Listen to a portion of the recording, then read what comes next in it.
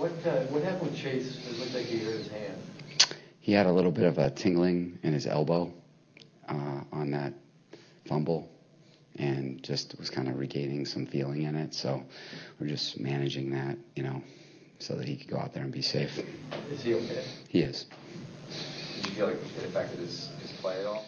Yeah, I mean, it affected it a little bit, but I, I thought that he was outstanding in the first half, seeing the game. Uh, on the on the fumble, he picked up the will free safety, mic'd it properly. We had a running back miss the protection. Um, he was seeing the field extremely well tonight. Um, you know, they had you know a lot of pressures up in the run game and in the pass game, and I really felt like he operated well, and I thought that Easton did too. Uh, so I was pleased with how, how both those guys played, and, and I, I, was pleased with Chase, you know, showing his toughness tonight. Um, kind of balancing through that, it kind of came back, went back out there, and um, you know, just really appreciate him. Do you see it factoring into the decision at all? No. No, they they both. I, I thought they both operated um, like they have the whole time. I really felt like they gave us, you know, a chance. It was tough sledding with with what was happening in front of them, um, but they were getting us into the right play, right protection, um, and I thought that they were accurate tonight. We just didn't get a lot of shots down the field because um, the protection wasn't holding up. But we had a couple opportunities early, and uh, just weren't able to uh, stay on schedule because of penalties. Um, obviously resting as many guys as you had throughout the preseason. You know, you're going to be playing a lot of second, third, fourth stringers. How much can you take away from the offensive production? How much do you just chalk it up to, you know, the decisions you made in terms of who you're resting? Yeah, we, we, we knew exactly what we were doing tonight, and we knew how it was going to be. We wanted to make sure that we gave our guys a, a plan that they could compete with. Uh, and I felt like, you know, we were able to evaluate a couple things in the run game. I thought Larry had a couple really nice runs. Um, you know, and then I felt like we designed enough for the for the receivers who were in the game. You know, we really had four wideouts in the game, uh, and then we're leaning on a lot of tight ends. So I thought we were able to get the you know good evaluation of T. Billy, Bandy. Um, Josh had a couple good catches. So uh, just appreciate those guys because of the numbers, and um, that's what this game was about: was to get those guys all the looks that they could get, and um, you know, offense and defense in the kicking game, and and it's going to be good for those guys to see this film and and and for them to truly assess where they're at. You didn't uh, get a chance to kick much. Does yeah. that competition? Yeah, I mean, the, these guys have had a lot of kicks in the preseason, um, and so um, there's enough to evaluate. I wish I wish there were more tonight in, in that environment. I know Tristan had one. Um, I would have liked to have seen more in the second half. Uh, but you know we've got plenty of a body of work um, with both players over the course of the spring and, this training camp, and it's going to be a difficult decision, you know, um, because it's been a very fair competition and even competition, and um, we'll be, you know, really pouring over that over the next 48 hours. Do you see a scenario where you keep three quarterbacks on the on the 53 man? Yeah, I think so. I think that that can happen. Uh, I think we're going to see over the next couple days, but um, I definitely think that um, that's a possibility, and then we'll dive into um, that those specifics here, you know, in the next couple days. But I think uh, both of those guys are assets for our football team.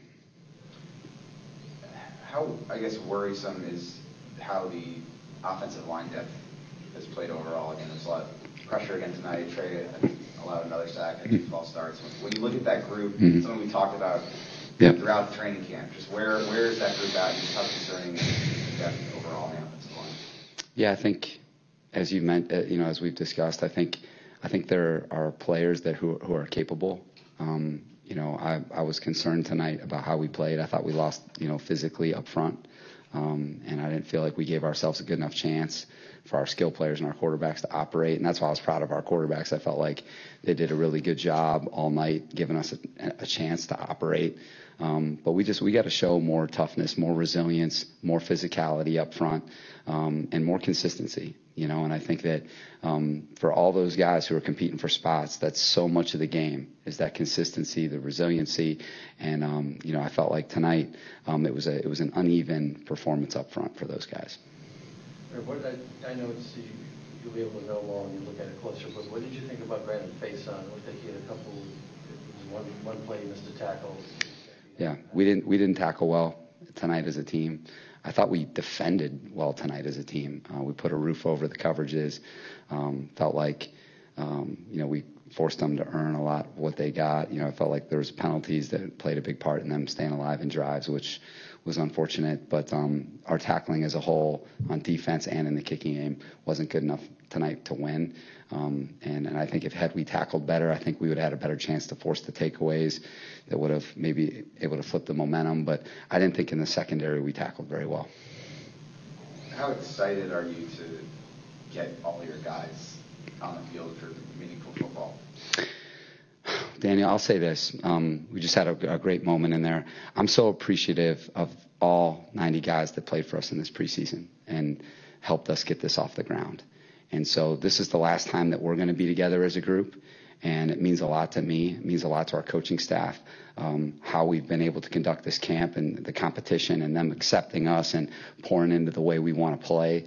Um, and I think that over the next couple days, um, you know, and, and, and, talking to these guys uh, that may not be there, um, we're going to have a lot of honest conversations, but doing it with care, uh, thanking them, and, and, then making sure they know where they need to go with their game. And then, um, you know, to answer your question about, you know, the team that who will be here uh, it's an exciting opportunity for us, you know, to really dive into the specifics of our team, um, the personnel, and how we feel like we're going to play, and you know, really design our offense, defense, and kicking game around those 53 guys, and and that's going to be, um, I think, exciting for our, us coaches. And I think we're going to get some rest this weekend, and then we're going to be ready to pour into those guys next weekend. And, and I know that there's a lot of guys in that locker room um, who are excited. And just going back to Chase, I just want to confirm the whatever issue he's dealing with, you don't see it as a like long term. It is. It's not a long term. It's just it was. It's just one of those things where hey, you know, you, you take a hit and there's just a little bit of a feeling there and a little bit tingling, um, but nothing long term.